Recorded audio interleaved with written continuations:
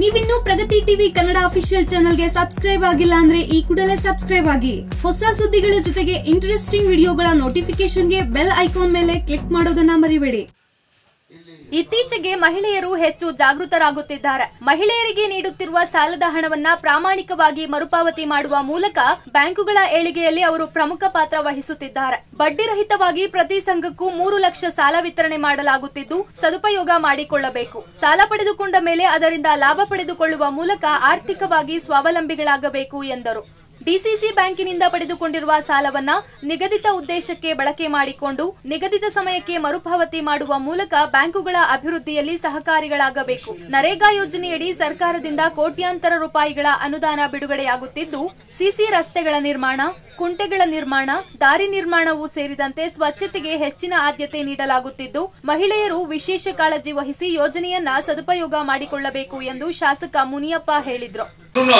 ಹಾಕ್ಸ್ತಾ ಇರಲಿಲ್ಲ. ಏನೋ ಒಂದು ಸ್ವಾಭಿಮಾನ. ನಾವು ನಮ್ಮ ಹೋಗ್ಬೇಕು, ಅಲ್ಲಿ ಬರಬೇಕು, ಯಾಕಪ್ಪ ಪಂಚಾಯತಿ ನಮ್ಗೆ ಬೇಡ ಅಂತಕ್ಕಂಥದ್ದು ಇವತ್ತು ಆ ಭಾವನೆ ಇಲ್ಲ ಇವತ್ತು ಜನರು ಜಾಗೃತರಾಗಿದ್ದಾರೆ. ಅದರಲ್ಲಿ ವಿಶೇಷವಾಗಿ ನಮ್ಮ ಸ್ತ್ರೀಶಕ್ತಿ ಕಾರ್ಯಕ್ರಮ ಬಂದ್ಮೇಲೆ ಹೆಣ್ಮಕ್ಳೆಲ್ಲ ಸ್ತ್ರೀಶಕ್ತಿಯಲ್ಲಿ ನಿಮ್ಮ ಗುಂಪುಗಳು ಗುಂಪುಗಳು ಇದೆ. ಒಂದೊಂದು ಊರಲ್ಲಿ ಮೂರು ಗುಂಪು, ಐದು ಗುಂಪು, ಹತ್ತು ಗುಂಪು, ಜನಸಂಖ್ಯೆಗೆ ಅನುಗುಣವಾಗಿ ಕ್ಯಾಟಗರಿಗೆ ಅನುಗುಣವಾಗಿ ಆ ಗುಂಪುಗಳು ಮಾಡಿದ್ದೀರಿ. ಆ ಗುಂಪುಗಳಲ್ಲಿ ಇರ್ತಕ್ಕಂಥ ಎಲ್ಲ ಪ್ರತಿಭೆಗಳನ್ನ, ಅಂದ್ರೆ ಬುದ್ಧಿವಂತರನ್ನ ನಾವು ಆಯ್ಕೆ ಮಾಡಿ ಅವರ ಮುಖಾಂತರ ಈ ಸ್ತ್ರೀ ಶಕ್ತಿಯ ಏನ್ ಕಾರ್ಯಕ್ರಮಗಳು, ನಾವು ಯಾವ ರೀತಿ ಬರಬೇಕು, ಯಾವ ರೀತಿ ನಾಗರಿಕತೆ ಬೆಳೆಸಬೇಕು, ಯಾವ ರೀತಿ ನಮ್ಮ ಕುಟುಂಬನ ನಿರ್ವಹಣೆ ಮಾಡಬೇಕು, ಯಾವ ರೀತಿ ನಮ್ಮ ಮಕ್ಕಳನ್ನ ವಿದ್ಯಾಭ್ಯಾಸ ವಿದ್ಯಾವಂತರನ್ನಾಗಿ ಮಾಡಿ ಒಳ್ಳೆ ಗುಣಮಟ್ಟದ ಶಿಕ್ಷಣ ಕೊಡಬೇಕು, ಇವೆಲ್ಲವನ್ನು ನೀವು ಹೆಣ್ಮಕ್ಳು ತಿಳುವಳಿಕೆ ಮುಖಾಂತರ ತೀವ್ರ ಬರಗಾಲಕ್ಕೆ ಒಳಗಾಗಿರುವ ತಾಲೂಕಿನಲ್ಲಿ ಮಹಿಳಾ ಸಂಘಗಳನ್ನು ಆರ್ಥಿಕವಾಗಿ ಸಬಲೀಕರಣಗೊಳಿಸಲು ಡಿಸಿಸಿ ಬ್ಯಾಂಕ್ ಮುಂದಾಗಿದೆ.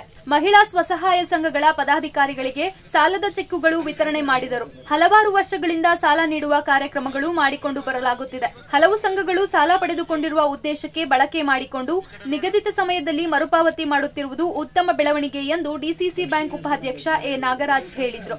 ಇನ್ನು ಈ ಸಂದರ್ಭದಲ್ಲಿ ತಾಲೂಕು ಪಂಚಾಯಿತಿ ಸದಸ್ಯೆ ಪಂಕಜ ನಿರಂಜನ್, ಗ್ರಾಮ ಪಂಚಾಯಿತಿ ಅಧ್ಯಕ್ಷ ಹರಿಪ್ರಸಾದ್, ಡಿಸಿಸಿ ಬ್ಯಾಂಕ್ ಮೇಲ್ವಿಚಾರಕ ಆನಂದ್, ಮುಖಂಡ ನಿರಂಜನ್, ಬೆಳ್ಳೂಟಿ ವೆಂಕಟೇಶ್, ವೈ ಉಣಸೇನಹಳ್ಳಿ ರೇಷ್ಮೆ ಬೆಳೆಗಾರರ ಹಾಗೂ ರೈತರ ಸಹಕಾರಿ ಬ್ಯಾಂಕಿನ ಅಧ್ಯಕ್ಷ ಬಸವರಾಜ್ ಮತ್ತಿತರರು ಹಾಜರಿದ್ದರು.